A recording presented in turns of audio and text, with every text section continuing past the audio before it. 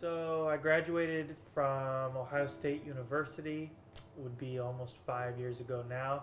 I spent one year uh, traveling, performing, saving up, and then I moved to New York and launched a professional career, and here I am, and uh, couldn't be happier.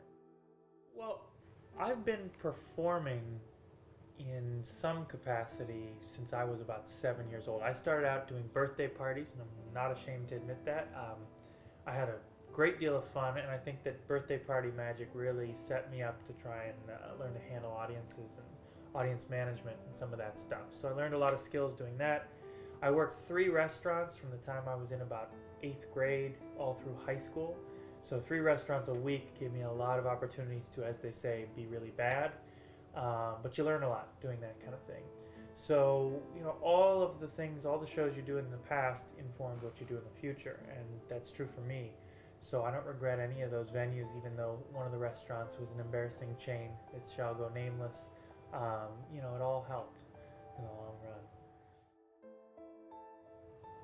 Yeah, it's a question people ask me a lot, and this is just my opinion, but what I observe is that magic is experiencing a creative explosion in a good way. I think that there are some awesome, awesome effects with and without cards being released on a number of sites and a number of ways that really interest me. However, that should be balanced out by the fact that I don't see any evidence of any young magicians really taking uh, their performances that seriously. And I think that we're seeing a real dry spell for strong performers. And so the challenge then for all of us, myself included, is to come up with ways to do this strong magic as people keep pushing the envelope, doing stronger and stronger magic to equal that with your performance. Um, and the market's wide open for it. So take that challenge. Vanishing Inc's big project right now. Andi and I have been hard at work for more than two years, which is as old as the company is, on the new Jay Sankey books. They're going to be insane. It's his complete collection without all the stuff uh, that was not up to par. We've added in new material and taken all his strongest stuff.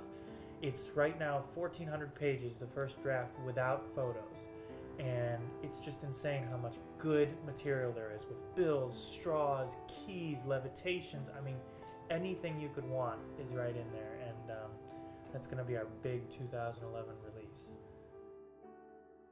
So right now, my big news is that I'm uh, hard at work on a one-man show. When I'm not right here in front of you doing this, I'm rehearsing very uh, tenaciously on a one-man show that I've written uh, that's a little bit different than a magic show. It gets into more about my life, my injury, my uh, background, my travels, all sorts of things. So I'm very excited about it. It's going to be a show that takes a lot of risks, but also something very, very different. And um, hopefully, it's coming to a city.